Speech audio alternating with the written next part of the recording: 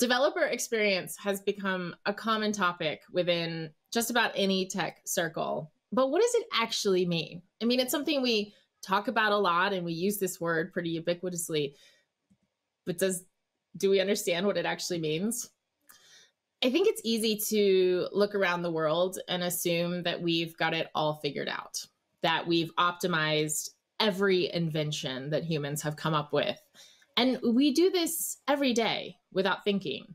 We look at forks and toilets and shoes and never really question that they function as desired. Because for the most part, it works. These objects accomplish the tasks we set out for them. But it doesn't mean that they can't be improved. And that's what I'm interested in today. I think you would be hard pressed to find anyone listening to this who regularly walks into the airport with a suitcase that doesn't have wheels on it, just a bag. Wheeled suitcases have become the norm, the absolute default. Whether it's two wheels or four, anywhere you look at the airport, there are hundreds of people dragging their luggage behind or beside them. But that wasn't always the case up through the 70s, people were lugging massive suitcases around the airport without the help of wheels. I mean, just carrying it. now, granted, air travel during that era had some real benefits, truly. The leg room alone was enough to tempt me to put up with the sheer fire hazard of dozens of lit cigarettes in air. Plus, you were fed, not three pretzels or a single peanut chucked at your face by a disgruntled flight attendant wearing duct tape as a bracelet, but a whole meal included in the price of the ticket, which is wild to me. It wasn't until 1972 that the first patent for a wheeled suitcase was granted by the United States, States Patent and Trademark Office. 1972. For those following along, we strapped three square jawed Americans to a rocket filled with half a million gallons of fuel and sent them to the moon with a hope and a prayer before we could buy luggage with wheels. It's clear to me that evolution is not a straight line. As I said earlier, I'm Emily Freeman. I'm the author of DevOps for Dummies and the co curator of 97 Things Every Cloud Engineer Should Know. I'm absolutely thrilled to be here with you. And I'm really looking forward to the fireside chat after my talk. So please come up with questions and we'll chat after. It's really easy to just look around and to accept things for what they are.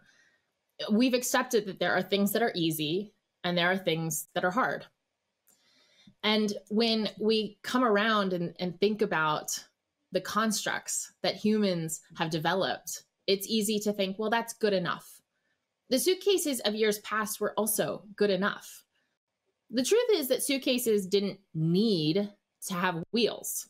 It didn't actually improve the functionality of the suitcase, except it made it easier to manage. It made easier travel easier for us. Rather than carry a really heavy suitcase, we could just drag what we needed behind us. Wheeled luggage made a hard task easier when it comes to tech in particular, we have a culture that takes pride in being able to do the hard things rather than making the hard things easier. Many of us are guilty of aligning our own self worth with our ability to do the hard things.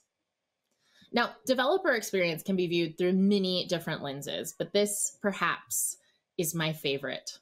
It is an evolution of our skill set an abstraction of the fundamentally difficult things, and an invitation for anyone to become a developer, no matter their background. Developer experience goes by many names. I've heard DevEx and DX, whatever you happen to refer to it as, it definitely has become ubiquitous across our industry. And at a high level, we all understand that it's a certain measure of a developer's experience when utilizing certain tools to accomplish particular tasks. But I want to go just deeper than that and dive into not only what makes great developer experience, but also why it matters. When we're talking about developer experience, there are two points of view. The first is internal DX. How delightful and straightforward is it for your team to develop your products and features? The second is external. This is when your product is developer focused. When your users are developers, UX is DX. Internal DX is really focused on productivity, whereas external DX is focused on usability. But I think they're pretty related. Developer joy isn't something that we often talk about, and I think that's a mistake. I care that developers enjoy their work because joy is the flame of creativity. I fundamentally believe that happy developers are more creative and more inventive. It's that creativity that fuels the future of our industry, the new inventions and iterations, and approaches and methodologies that take us forward. If we're not working collectively toward a better future, what exactly are we doing? Honestly, why even bother? I mean, money is the currency of our society. That's just a fact, one we can't deny. And money isn't just a medium through which we trade value. Money is how many of us measure our successes and how we compare ourselves to others. It's a societal stack ranking tool. But I think if most of us went just a little deeper than our basic need to provide for ourselves and our families, if we look deeper than our desire to feel secure, we'd find we need something more. Some mission, some North Star toward which we can journey, that elusive purpose we all seek in the quiet moments of our life, something that makes our living worthwhile, worth more than our limited time. I believe joy is the fuel of purpose. And without it, we will stagnate, holding in a pattern of the past indefinitely. Now, for the capitalists in the audience, don't worry, I see you. I like to think of investing in developer joy is a little like angel investing. When you invest in a pre product, pre revenue startup, sure, you're betting on the idea. But more than anything, you're betting on the founders that they are capable of bringing this idea to fruition, that they can pull it off. And that investment won't pay dividends immediately. Angel investing is a long term bet. Investing in developer experience just for the short term win of developer productivity misses the point. You'll get a small win, but when you go big on developer experience, that bet, that early investment, over two, five, ten years will become the key differentiator between you and your competitors. You can see this in the market right now. When you invest in developer experience, you move faster, you ship more inventive products, your services are typically more stable, and you will earn the loyalty of your customers and often employees. Now, when it comes to selling developer tools, a survey conducted by Slash Data found that 92% of developer leaders are involved in purchase decisions. Developer experience isn't just something we want to do, it's good business. Great developer experience has four key characteristics it is expected, consistent, quick, and intuitive. Expected behavior is fundamental to any product or tool. Does the product actually do what it claims to do? This starts with the basic question of accomplishing the task needed. A CI CD tool on a very basic level should include source control, testing capabilities, and deployment features. In the cases where there are standards across the industry, does the product follow the standards or do they require learning a unique or proprietary approach? Finally, when you're thinking about expected behavior, if you asked a subset of developers, would they say that the product behaves as they would expect? That'll tell you. Consistency is more important than you think. I was in Berlin once at a Christkindlmarkt, and only I had gotten there late. and the shops were closing. They were shutting their little wooden doors. And I was starving. I had been on a train all day. I hadn't eaten a lot except those snacks in the little snack car. And in that moment, all I wanted was to feel satiated, to feel something familiar. And then across the city skyline, I saw those golden arches. and I swear, the moment I ate that first McDonald's french fry, it was an immediate feeling of home. Now, McDonald's isn't necessarily good food. It's certainly not good for you, but it is consistent. Across the globe, we know that that Coke and those fries are going to taste exactly the same. That is a powerful draw. Consistency can speak both to the stability of the product from a resiliency perspective. In other words, is the product usable most of the time? And from the perspective of the frequency of changes. Now, you could have the best product in the world, but if you change your user interface or UI too frequently, or keep shifting the primary call to action around the page, your users will hate it. Now, that's not to say you can never change anything, but be cautious that the positive outcomes of any change far outweigh the cost of learning this new process or pathway. Develop, developers can simultaneously be some of the most patient and impatient people I know. Now, that's a contradiction, I'm aware. We'll call it the developer paradox. Yet it's true. I have never seen anyone with more patience and dedication when working through a difficult problem than a developer. They will literally sit there struggling for days, even weeks, just thinking, ruminating over the same problem until, in a literal aha moment, they stumble upon the answer. But that's where the impatience kicks in.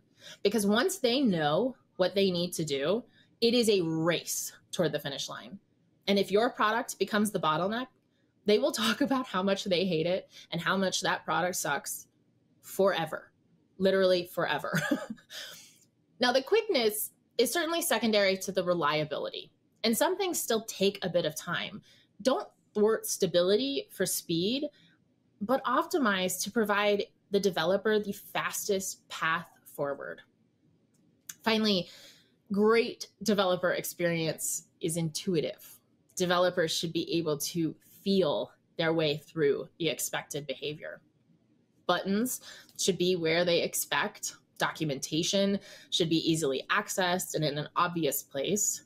And the application should be easily searched and easily navigated. Think about your own user experience with various websites and applications. Password fields are my own personal hell when it comes to this. Character limitations, like what's up, eight characters? Are you kidding me? An inability to paste a password from a password manager. Like I'm going to sit there and type out all 26 characters the random refreshing, it's endless. The list goes on and on.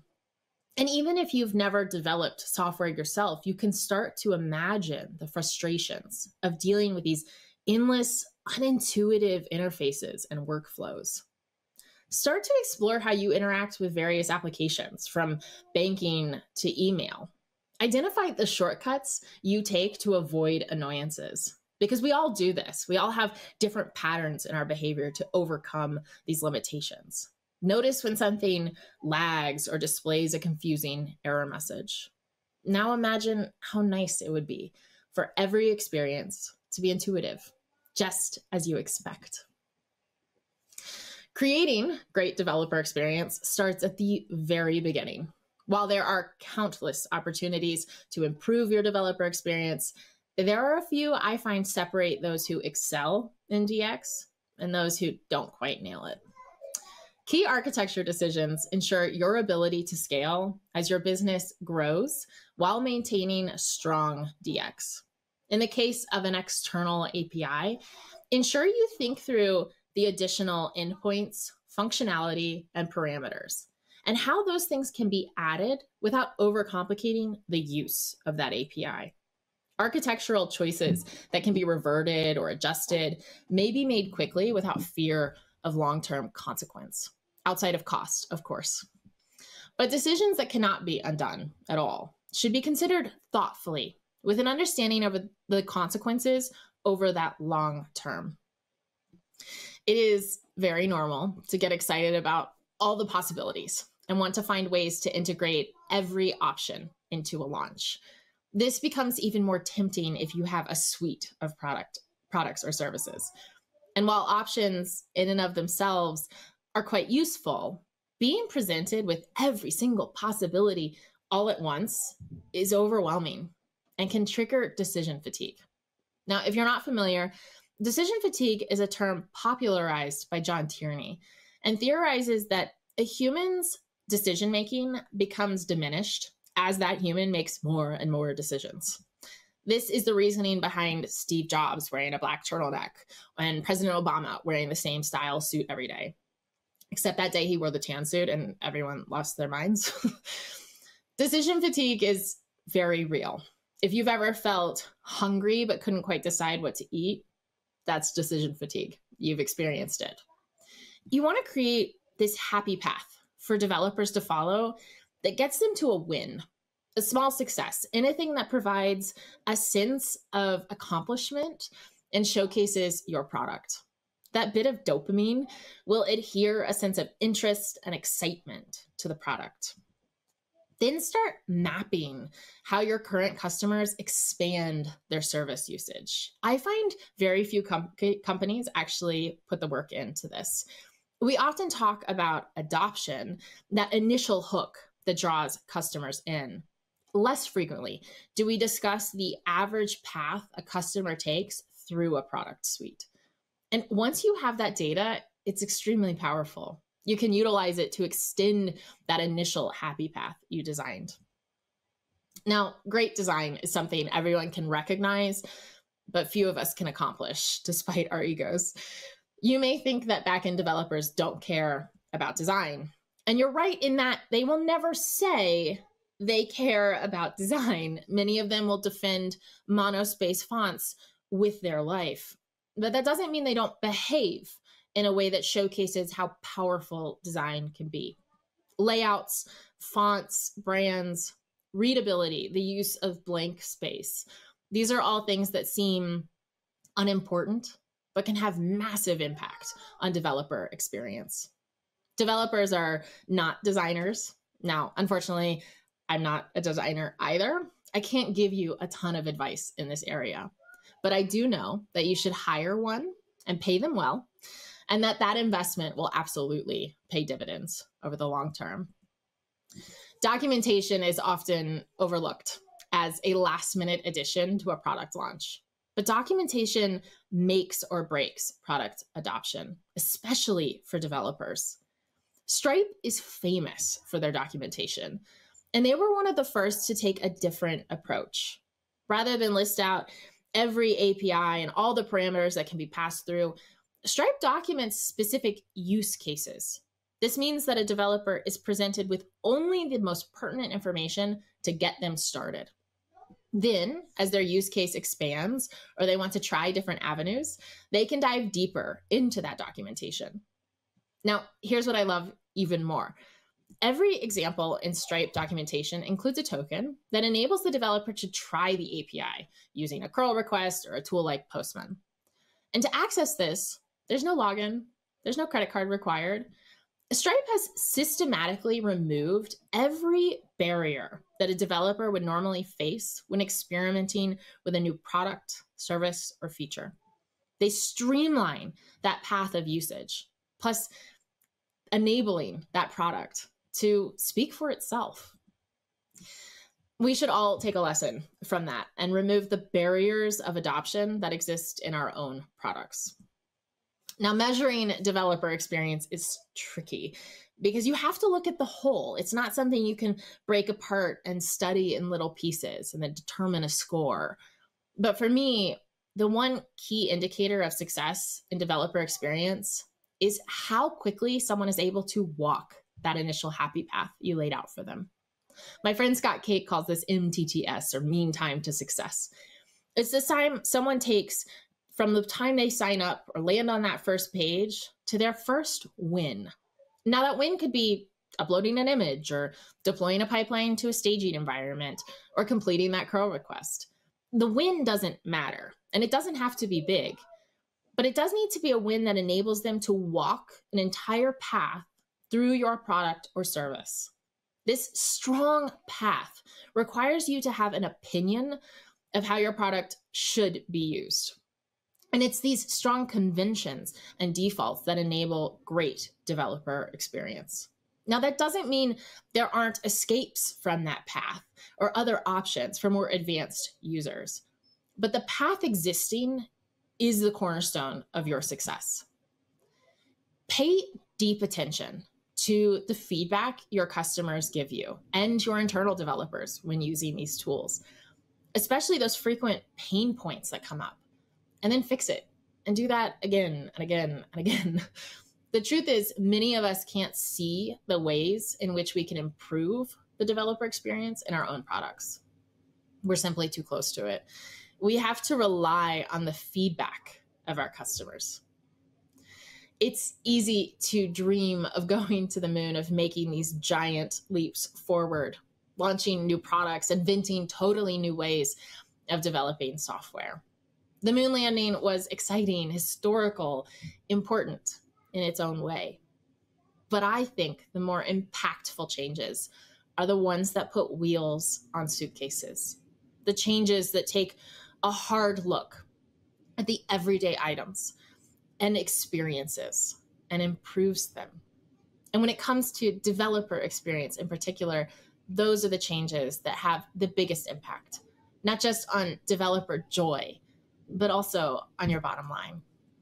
Thank you so much. All right. Thank you, Emily. That was absolutely amazing. Um, you got an awful lot of love on the chat as it went along. Oh, thank so you really, really wonderful communication. Um, so I have a few questions. Um, the first one is that uh, you're, you're a rare breed that can go from tech to being able to communicate so well. And one of the things that I see in the, in the conference business is that there are people who don't necessarily understand how to start how to communicating outside of their work. So I, I, love that as developers, we can create value with our hands. We can improve the world by what companies we choose to work with, and we get to actually make things with our fingers and our minds and our hearts that make the world better. And then what you do is you go out and you tell others about it and you inspire others to do it. So can you tell our audience a little bit about how to go about that and that they in fact can as well? Yes. Yes, I believe strongly that we can all communicate. And keep in mind, I was a writer before I was in tech. So I put 10 years into this. This isn't something that I just came out, um, I was born with and, and just popped into humanity with this skill set. I had to put time into it. Um, and interestingly, you can read about communication, but I actually learned the most uh, for myself from stand up comedians. I think if you watch stand up comedy and you don't just absorb the funny, which it is funny, um, but you really look at how they pause their language, how they allow still moments to impact the the feeling that they're trying to have the audience experience, how they move around the stage, how some of them use the the microphone in a way. Wanda Sykes is particularly good at using the microphone as a sort of prop uh, to help tell her stories. And so I think when you kind of focus on absorbing how people who are successful at communication actually deliver that and breaking that apart and developers are very good at breaking that apart right so break it into these little pieces uh, that will help for sure I owe everyone a book. I'm I'm writing on how to develop um, or how to to give a conference talk, and so I'm way behind on that. Apologies, but I'm working on it.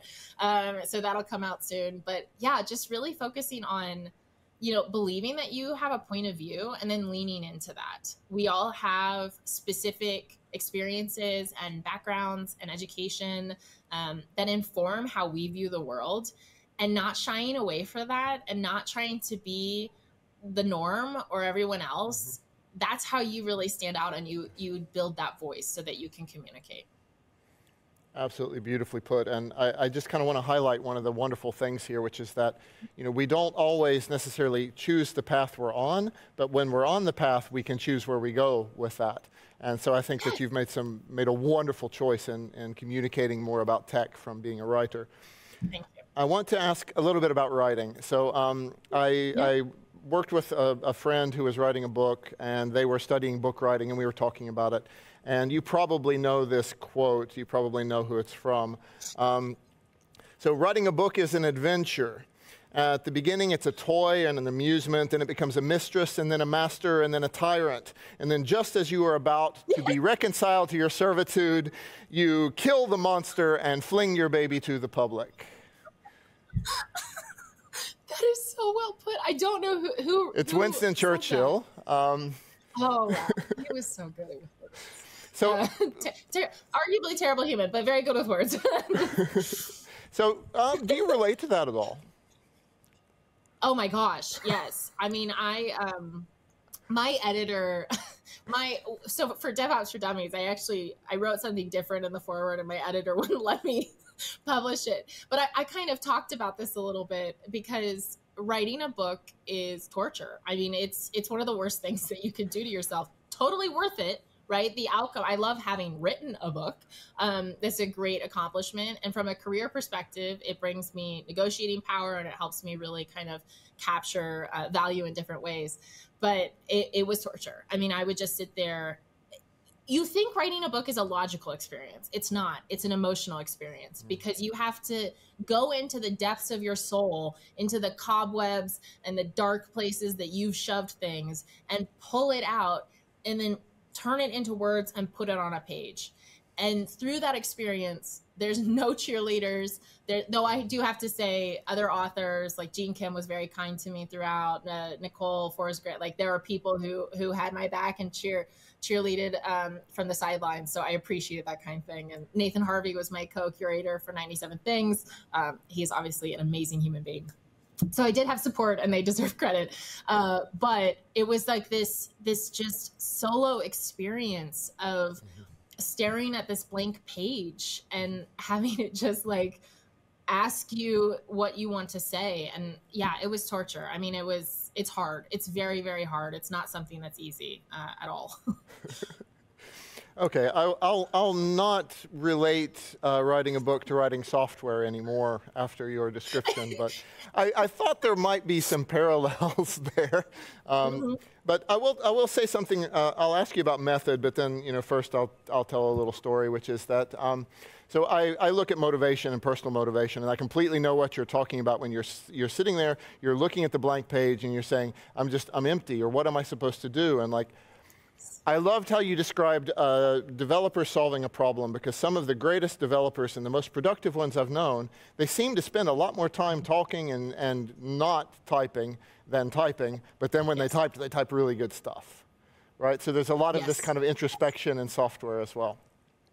But before I ask yes. you about method, um, so one method that came uh, really important to me was uh, I heard a joke, and the joke is we have a new company policy. On Monday, you know, everybody recovers from the weekend. God, we hate Mondays. But on Tuesday, we fully expect you to prepare to work. On Wednesday, you work. On Thursday, you pat yourself on the back so hard for working so hard on, on, on Wednesday. And then on Friday, everybody prepares for the weekend. And then, oh, we have a question from the audience. Uh, yes, can we do something about these Wednesdays? So this is a method I've used a lot in burnout, and I've talked with a lot of people. Like, if you can't, you deserve to recover. And when you have recovered, yes. at least get your desk ready to work and then do some work and then feel good about it and recycle. So, do you have a method, Emily, yes. that when the torturous part of the, the book writing is there or some other part of your life, what's the method that you use to get through it? I um I want to just pause for a moment because you you you've touched on so many different things here, and I I want to say one of the things that I struggle with still to some degree is that I can be productive and be doing work, be doing my job when I am thinking. That I don't have to be actively typing or engaging with my computer to be doing work I, I have to think. So much of our work is thinking, but we never really acknowledge that that is work. Um, and it took me a long time to kind of become semi comfortable with it. And I still have moments where I'm like, oh, I need to be in Slack or whatever. Um, but that's not actually productive. And I think that is part of what leads to burnout.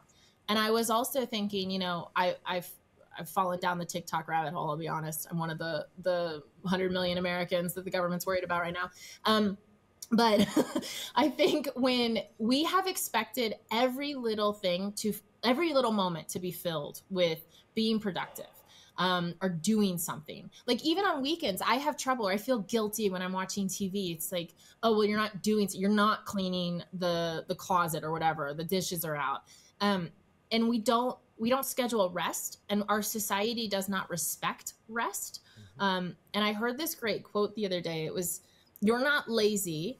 You have a limited amount of energy, and right now you're spending it all to survive." And I loved that yes. because I think we, especially since COVID, like we we have gone through so many um, communal, deep, deep traumatic experiences, yes. right, on various levels. But there has been a lot of just of this this societal trauma that we just didn't acknowledge right? Mm-hmm. we did two years of isolation and this strange feeling of like what if i get it? And then there was this weird emotional guilt when i finally got covid where it's like what did i do wrong? I, i'm this horrible person. And so we've layered all these things on top of something and it's it only goes to torture us. Like all it does is allow us to feel like we should constantly be doing something that we feel guilty when we're not um, productive. Uh, and I think it's harming us. I mean, I think a lot of us are closer to burnout than we probably acknowledge. Um, I'm always like skidding right on burnout. Um, and I also want to say, once you hit burnout, it's not a quick recovery. Like you, you think, oh, I'll take a long vacation. No, you're looking at two years of of systematic like repairing your adrenals, reducing your cortisol. There are physiological aspects of this um, that we don't actually kind of talk about because it's just work harder, do more, make more money, get a promotion. Um, it's exhausting. It's just exhausting. So I'll just put this self compassion is a really, yes. really important thing in this industry, knowing where you are over your limit and being able to back up a little bit before you get into that state. It's so difficult, and people expect so much. The, we were just moving. I, I, mentioned you. Wanted to ask. I don't have any farm animals yet, but we were just moving, and we had a, a small crew on the move out, and I hurt my arms, and so I said on the on the on the move uh, into the house, I want to have a, a, big crew. Send all the guys you've got, and they're like, great. And then I'm like, hey, look, there's a light box. I'm going to take that. And then one of the old guys was like, yeah, the young guys can never do that. They always want the heaviest ones. Yes. exactly. Yes. Exactly. Yeah. Yeah, because you want to prove. Yeah, our egos get in our own way, actually, more than yep. they help us. Yeah. So, do you have a method for we can I can split it a little bit now. Like, do you do you do you detect when you're over the limit and know when to stop? I'm actually pretty terrible at this. I'll be yeah. honest. I um, so I find that anyone who's had like an I'm not convinced that anyone's had an easy path in life, but I like to imagine that there's this this fictional person who lived in this perfect like fairy tale of a life and and didn't have, you know, trauma and I also think, you know, when we talk about things like this, there's no way to compare. You know, it's like pain. You can't you can't say like if someone's my daughter's the best example of this when she gets a shot that is her level 10 pain and trauma right? Like she she hates that so much because that's the worst thing she's experienced. Mine has been upgraded to childbirth. Um, but you know we we can't compare those experiences. And so this is another thing that gets in the way of communication when we we try and say that like well that's not i it's the my friend calls it the the uh, oppression olympics or the compassion olympics. It's like you're trying to prove that you've gone through something more that said, I think that when you have gone through tough times and when you have come out of that and, and clawed your way out and found success or found found a way to overcome whatever whatever that was you adhere to that that thing that got you out of it and for me like you know my issue when i came out of it like my career got me out of that and mm-hmm. so i i adhere a lot of my ego my self-worth to this. And i really struggle to take my foot off the pedal even though i i know i need to because i'm scared right? Yeah. i'm scared that if i take my foot off the pedal it all it all disappear and I, I won't have any value and no one will like me. And like these are really deep things but i think we all experience them. Um and so one you know not being good at it but listening. So my mother's always on like did you drink water today did you eat lunch today? did mm-hmm. you sleep? Like she's still mothering me. Um, and listening to that, you know, listening to friends who are like, Hey, I think you're, you're struggling or, Hey, you need to slow down. Or I see you continuously put things on your plate and not take them off. Listen to those people in, in your life who want to see you succeed, who, who believe in you, who love you. Um, they will help guide you if you can't see it, you know? So that's, that's the thing I kind of put in place and then schedule rest. I think I, mm-hmm. um, like I take Fridays really easily. My my role, my organization, we have no meeting Fridays. That really helps. So if I have to catch up on something, awesome, but I'll leave early and I'll go see a movie or whatever I need to do to get over the stress of the week. Uh, and that, you know, not everyone can do that. That's a super privilege. Mm-hmm. Um, but if you can schedule that rest however you can accomplish it, it helps. Yep. Excellent, excellent. I'll try a little different topic. Um, one of the things that we noticed when we put together the host program was that we had representatives from large and small companies. And I know in your profile that you have worked with everything from startups to large technology providers. So, would you like to talk a little bit about similarities and differences between startups and large tech, or maybe how we could cross pollinate a little more? Yes. Yes. I wrote um, a full uh, talk on this called Scaling Sparta. Um, but I, I like to think these in three stages. So you have that sort of early stage, it's infancy. Um, you're really just kind of creating something from nothing and then you have this medium sized company and that that definition can range depending on where you're at. Um, like the the definition of a medium sized company at a large cloud provider is radically different than a medium sized company if you're a startup. Um, but it's this sort of teenage years where you're starting you have that product market fit um, and you're really starting to create internal processes that allow you to scale this is this is like my least favorite stage of a company. Some people thrive in this ability. They're really good at creating process. Um, i'm not and so i don't do well in this stage. But then there are the large enterprises and this is where risk is not a good thing. Whereas startups like you want to you want to push the envelope. You want to take risks because that's how you you actually make a statement and you you announce yourself in the market. For a big company loss is scary. Mm-hmm. the worst thing you can do is mess up.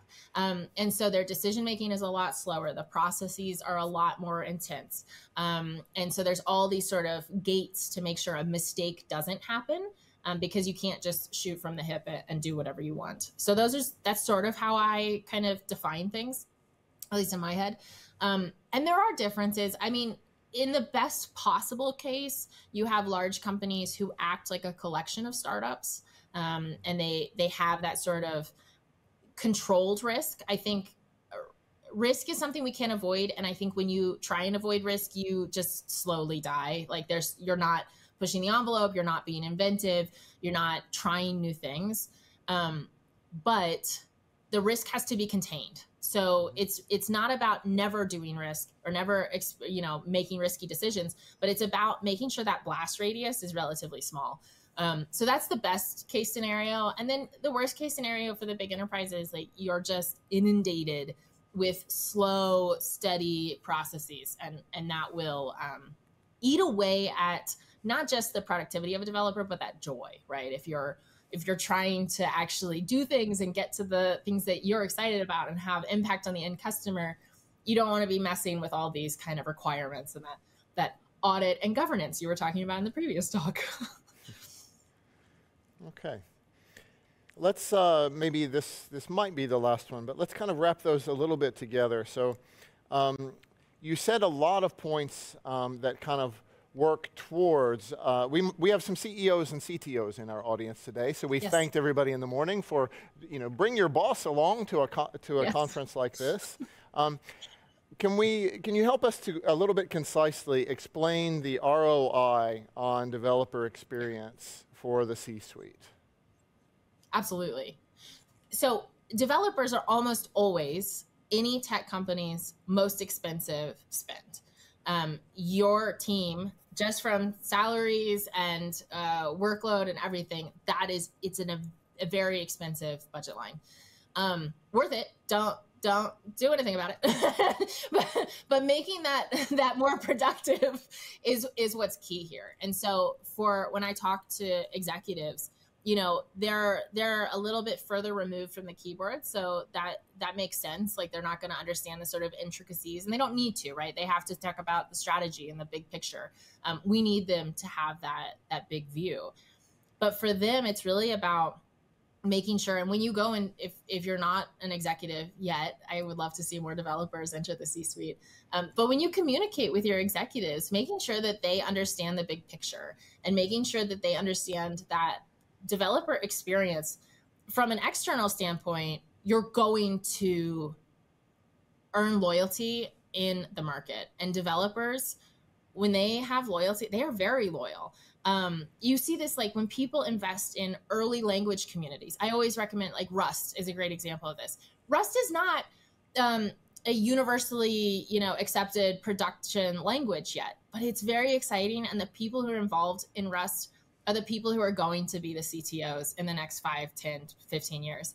And so you want to make sure that you're investing not only in the language but in those people because they're going to be making those purchasing decisions over the long term and so developer experience, it is a longer term investment. It's not something that you're going to earn um, dividend, dividends from immediately.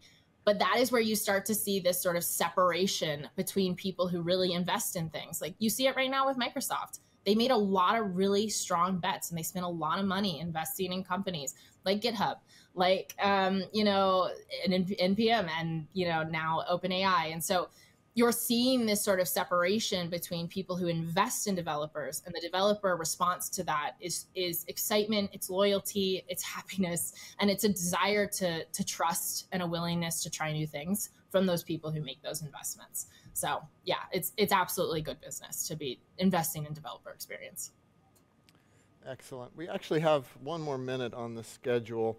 Um, there was one question um, that I think was a bit interesting and in this context. Uh, what do you think about uh, like six hour working days and four day working weeks and two months without any work or any of those kinds of systems? Um, I so I've always seen the, you know I'm American. I, I live in the states, and it's so interesting to me the delta between Europe and personal time and America and personal time. Um, and so, you know, here it's you're out of offices. I, I've run to the dentist for a root canal. I'll be back. Uh, it's just a minute. Like it's like this panic of I, I promise I'm here. I'm working. It's fine. Um, and in Europe, especially France, uh, you know, it's like no, I'm off for six six weeks. Goodbye. there's like there's no checking email. There's no way to contact me.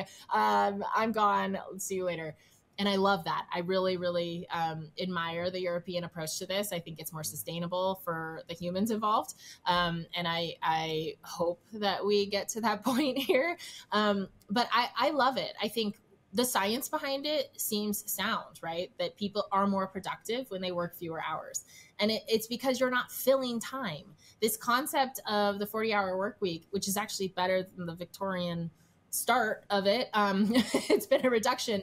But when you force people into this catch all time frame you're not tailoring it to certainly not that person and how they work certainly not the type of work they do. Like i said i've done some of my best thinking while out in the yard staring at a tree or um, exercising or whatever else. When thinking is work the work hours don't really impact that. And so all you're doing is forcing them to fill time. Um, and that's done through Slack messages or whatever else, or just staring at the computer or being miserable. Um, so you don't want that last one.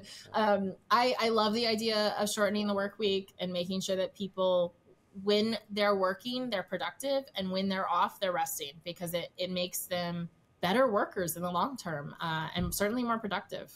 Awesome. Yeah, I think it was Einstein that said the bed, the bath, and the bus. That's where the good ideas come. Yes. So. Exactly. All right. exactly. Thank you so much, Emily. This has been Thank fantastic. You. It's been wonderful, and I feel like we shared a safe space here together across the yes. wire and across the conference, and that was uh, really, really wonderful to share this time with you. Thank you, Emily Freeman, ladies and gentlemen. Thank you so much. Hi, we're from Eficode, the proud organizer of the DevOps conference. Our goal is to uncover cutting edge talks, emerging ideas, and DevOps trends, providing a global forum for practitioners and decision makers to learn and grow. We'd love to also explore how we can help you excel in DevOps together. Visit us at eficode.com and enjoy the inspiring talks at the DevOps conference.